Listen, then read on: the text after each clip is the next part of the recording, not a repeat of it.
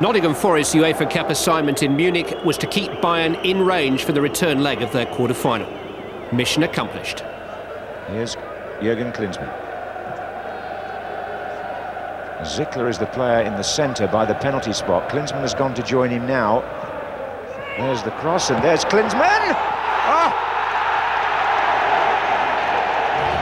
Well, wouldn't you just have guessed? Forest do have a free kick almost immediately, so let's see if they can uh, make an early reply to Klinsmann's goal. It's uh, Phillips who's actually going to curl this in.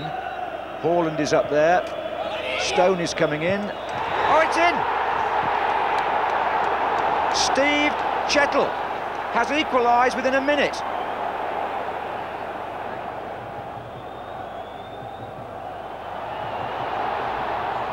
Sforza again now, and he's got support coming in here. Mehmet Scholl was well forward, and Bayern have scored. Mehmet Scholl has made it 2-1. A mixed night for the Italian quarter-finalists. Whilst Roma were losing 2-0 in Prague, Milan were beating Bordeaux by the same score at the San Siro. Simone and Savicevic combined to set up Eranio's opener just before the half hour.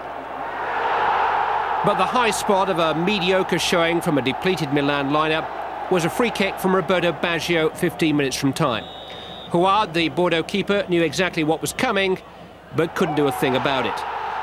2-0 up and Weah, Albertini and Boban still to come back in. The Italian league leaders a team to avoid.